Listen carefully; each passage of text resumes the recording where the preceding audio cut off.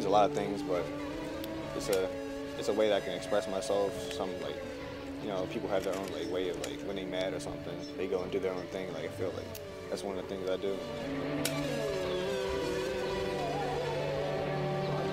Um, right now I'm 17. I was born in Baltimore, in Mercy Hospital, and my name is Cruz Martinez.